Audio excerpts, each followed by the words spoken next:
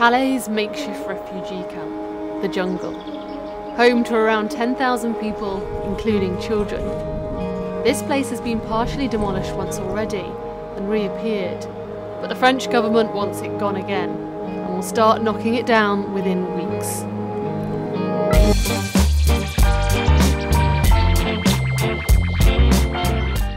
A world away from the squalor of the camp, Lily Allen is working on her new album in a studio in North London. What do you think you can achieve by going there? Save everyone. No, um, uh, I hope that I hope to, you know, on a personal level to just see things for myself so that I, I know and I can talk openly about it, having, you know, experienced it even for a very short amount of time. And humanise the people that are there because at the moment what I read is, you know, all these articles which are very dehumanising about people and, and children, you know. i I'm a mother, I've got two little girls and if something happened in this country and something was to happen to me and their dad and they were displaced and had to make a run for it, I would really hope that other parts of the world were a little bit more helpful than we seem to be being. It would seem to me that there are people that have been driven very far away from what they know and love and stability and comfort. I don't think anyone would choose to live in the jungle. No one would choose that.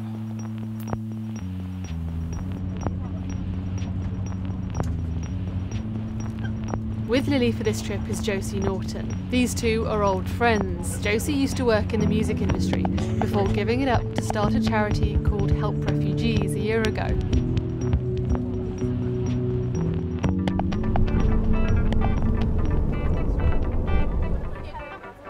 Right next to the camp, this massive warehouse shows the scale of the charity work that's quickly emerged to provide for those living in the jungle.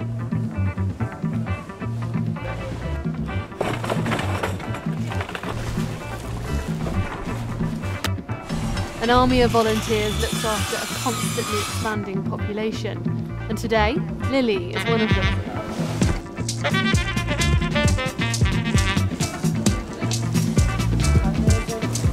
This is just kid stuff of mine. My kids said you could have. uh, shoes, jackets, um, jumpers, Snow White costume, which will come in really handy, I'm it's actually really sweet.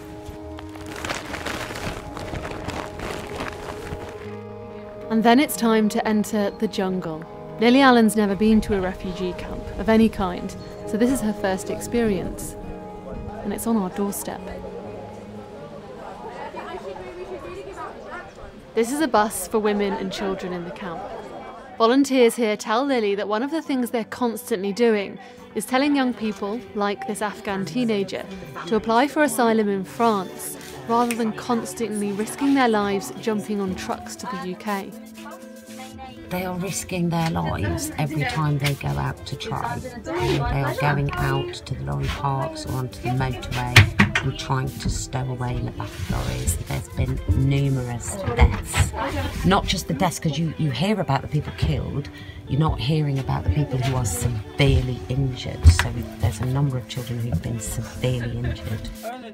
One of the main reasons Lily's here is to meet for herself people like him, children and teenagers calling this place their home.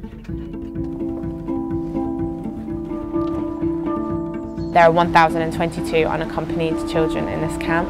With the imminent closure of the camp, there are a massive risk of trafficking or just getting lost in the system. A huge proportion of them have got the right to be in the UK because they have family there, and another huge proportion of them have the right to be in the UK because of the passing of the Dubs Amendment in May. And still, right now, there's not one child been brought to the UK under that amendment. The Dubs Amendment was an agreement by the UK government to take in unaccompanied refugee children from Europe. At this youth centre in the camp, there's a sense of urgency today. The volunteers are recording details of the teenagers here so they can try and keep track of them when the camp's demolished and continue trying to get those who have the right to be in the UK across the channel. Um, so what I want is anybody who has family in England that hasn't started the process. Lily meets 13 year old Shamsher from Afghanistan. He says his father's in Birmingham. He's been in the camp for two months now. Why did you leave Afghanistan?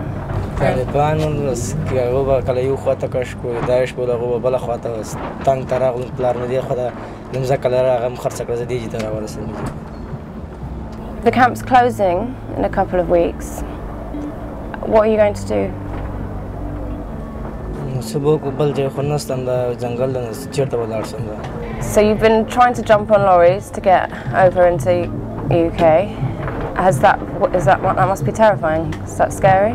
خو دا چې دا شاته کابین کې خېده د غلطه خطرم د غلطه سپاس کې د غلطه ابلر زمي ولا کې مل کړو د غلطه څنګه غاړه ودرېږي ډایرکټ ځان پاس واغ ته خز غاړي ته خز سر ته گاوه گاغه اتوبان ته وخته وسالته ځان کې نه واسلو پاس نه خوان د ز د ز لغت راته وباسل بېرته چې راجګ سه سا پیړی م راکړه And I know you're trying to get onto the lorries every night, but from what I'm hearing from the refugee um, volunteers here in the camp is that you have got a legal right to be in the UK. So I wonder, have you started that process? Do you, have you filled out the forms? قانوني خو چې دا ډېر سلو ده هغه پې- درې څلور پنځه میاشتې کېږي د سهار یو دغه پروت دی. ډېر سلو ده هغه قانوني قانوني کار انداخته کوي انداخته ده انداخې مو کېدای شي What, what are your hopes for the future? ساینده لپاره واړو هغلته اوس لیک تعلیم وکړو تعلیم مو نه ده کړی مخکې هغه زندګي جوړه کړو just seems that three different intervals in this young boy's life, the English in particular, have put you in danger. We've, you know, bombed your country, put you in the hands of the Taliban, and now putting you at risk, risking your life to get, in, get into, into our country. That seems. I apologise on behalf of my country. I'm sorry for what we've put you through.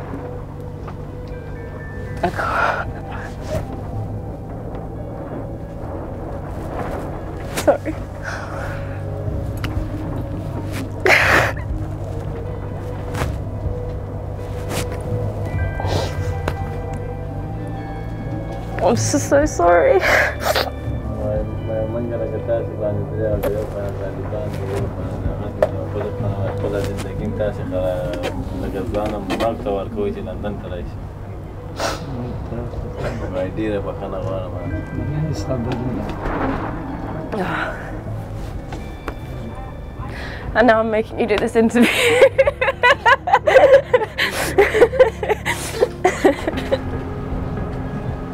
just desperate, isn't it?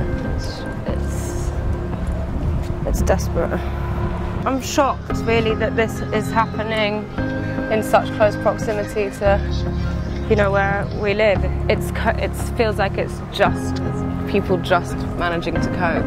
Something has to be done because it can't really it's inhumane, isn't it?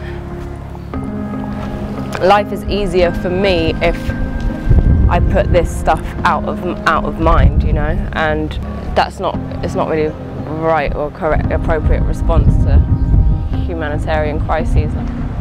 This is these these people's lives. Like it's not this is just a day out of my life, but this is their existence and I think it must be the like the not knowing, the uncertainty of what comes next. No one's chosen to be here, and it's not fair. You know, we live in a it's it's it's a lottery, isn't it? It's a geographical lottery. Wherever you're born in the world. I know that I wouldn't like to end up here though. I certainly wouldn't want my children to end up here.